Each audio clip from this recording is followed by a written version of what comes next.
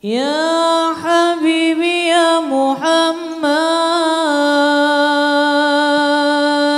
Mau tanya nih Ustaz, masalah rezeki Kan udah ditetapkan oleh Allah subhanahu wa ta'ala sejak dalam kandungan.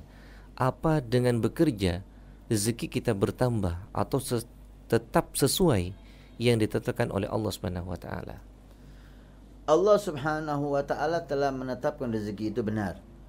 Wa min dabatin fil ardi illa 'ala Allahi rizquha. Tidak ada binatang apa pun kecuali rezekinya sudah ditanggung oleh Allah Subhanahu wa taala.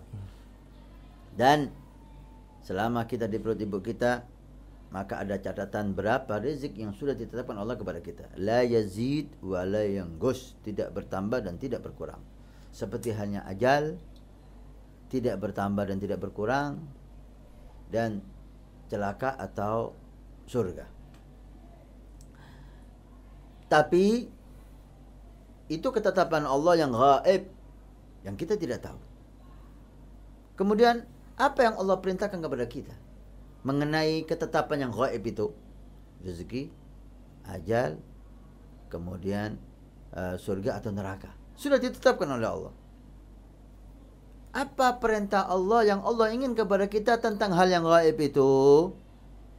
Ternyata Allah tidak menginginkan kepada kita pasrah kepada ketetapan itu.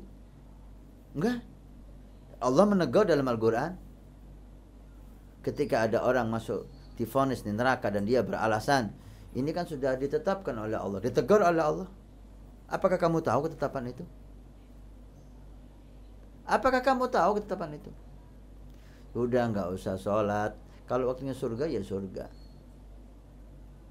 Ya. Memang waktunya surga surga. Waktunya neraka neraka. Tapi kalimat tidak usah sholat ini dari mana? Apakah Allah menetapkan kamu seperti itu? Lah. Allah menyuruh kita sholat. Agimus sholat. Dirikan sholat. Sholat kamu. Tentang kamu di neraka atau di surga bukan urusanmu. Jalankan perintah Allah. Demikian rezeki. Memang sudah ditetapkan oleh Allah. Tapi apa yang Allah perintahkan kepada kita? Untuk Allah menyuruh kita mencari ikhtiar wa ajmilu fit talab kata Nabi sallallahu alaihi wasallam. Cari rezeki dengan baik. Talabul halal wajibun ala kulli muslimin. Mencari rezeki yang halal wajib bagi orang muslim. Kita diperintahkan oleh Allah dan Rasulnya untuk mencari rezeki. Tentang rezeki itu berapa, itu bukan urusan kita.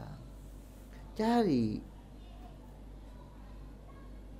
Sunnatullah jika Allah ingin memberi menjadikan kita penghuni surga, maka kita dimudahkan untuk mencari amalan yang membuat kita masuk surga. I'malu kullun muyassarun lima khuliqa min ajli. Berbuatlah kamu karena Allah akan memudahkan untuk apa kamu diciptakan. Kalau kamu diciptakan untuk surga, maka kamu akan mudah untuk beramal amalan penghuni surga. Tapi sebaliknya, jika seseorang diciptakan untuk neraka, maka dia akan mudah berbuat amalan penghuni neraka yaitu maksiat kepada Allah Subhanahu wa taala. Demikian juga rezeki. Jika Allah ingin memberi rezeki kepada seseorang, maka dia diilhami untuk mencari. Tapi jika Allah tidak mau memberi rezeki kepada seseorang, Allah menjadikan dia tidak mau kerja. Itu yang utama. Apakah kerja menjamin kita dapat rezeki? La. Rezeki Allah yang nentukan. Tapi kita disuruh ikhtiar. Selama disuruh ikhtiar, ikhtiar. Diberi oleh Allah, tidak diberi oleh Allah, bukan urusan kita. Tapi yang jelas, kita sudah melaksanakan perintah Allah. Dan Allah berjanji untuk memberi berkah dan pahala. Berapa banyak pahala disiapkan bagi orang yang mencari rezeki? Inna lidunubi dunuban. La yaghfirullah illa bighammi fi talabil ma'ish. Ada satu dosa yang tidak bisa diampuni dengan sholat, dengan Quran, dengan puasa, dengan apa pun. Kecuali rasa sumpek, capek ketika mencari rezeki Allah. Itu dosa itu hanya bisa diampuni dengan ini. Nah, ketika kita sumpek, nggak hasil dalam rezeki yang halal, walaupun nggak dapat rezeki kita dapat pengampunan.